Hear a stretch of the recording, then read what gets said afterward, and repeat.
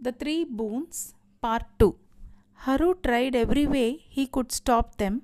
He chased them in the streets, rolling up his sleeves, complained to the elders, but alas, everything ended up in vain.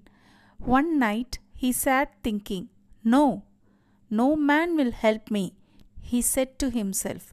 But I hate to be the laughing stock of the village. Ah, what shall I do? Suddenly a thought crossed his mind. Why, it's God who has given us these bodies. I must pray to Him for remedy. There is no other way. Excitedly, he called his wife. Do stay home till I come back, dear, he said as he slammed the door and went off to the woods. Deep in the woods, Haru found a moss rock sunk deep into the earth. He sat down on it and prayed to heaven for help. The whole day passed. He neither moved nor took notice of anything around him, but prayed continuously. His sincerity made the God who appeared before him. Haru's heart jumped when he saw the God before him. With great humility, Haru prostrated himself, then rose and sat on his knees, and with folded hands he said, Lord, Lord, be kind to me and grant my prayer. The kind God smiled and gave him three boons to ask with three throws of dice. Haru ran to give the news to his wife. Dear, dear, he shouted, knocking hard. Open quick! When his wife opened the door, he went straight in and sat down on his bed like a king.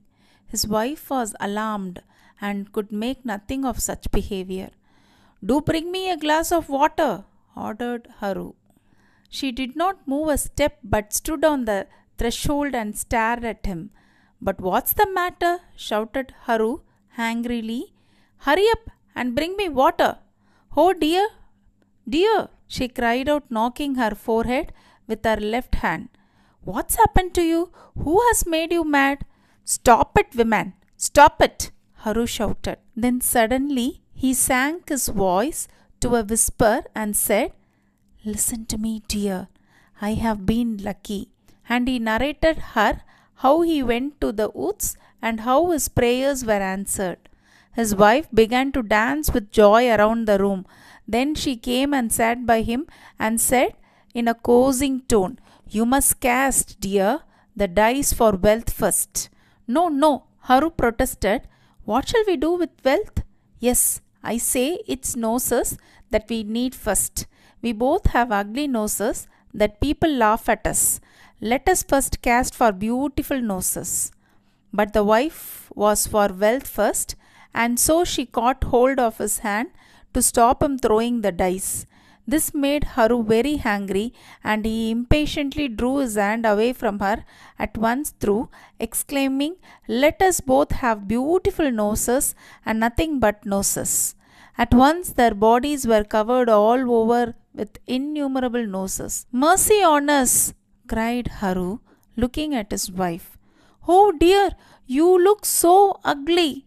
You too! she shrieked out in reply. They stood against at the terrible sight of each other. They proved such a nuisance that both of them agreed to throw the dice a second time, asking for removal. It was done, but alas, they also lost their own little noses by that. Husband and wife looked at each other in dismay. They now looked uglier than before. Oh dear, said Aru almost sobbing. What I have done? I ought to have listened to you, dear. Now tell me, shall I cast for two beautiful noses for us? Husband, replied the wife, sinking her noseless face in her palms.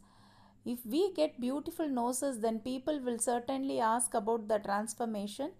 And when they learn the truth, she continued, What fools we shall appear that we couldn't mend our circumstances even with three boons.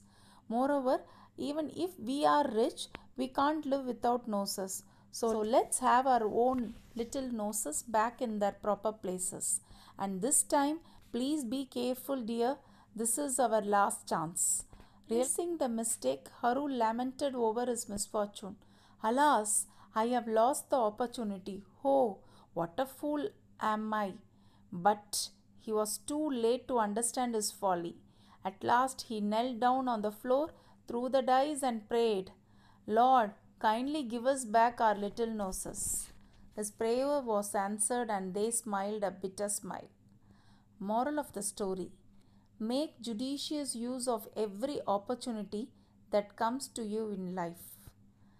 I hope the story was very interesting. This is Sandhya Radhakrishnan from Flying Colours. Thank you so much.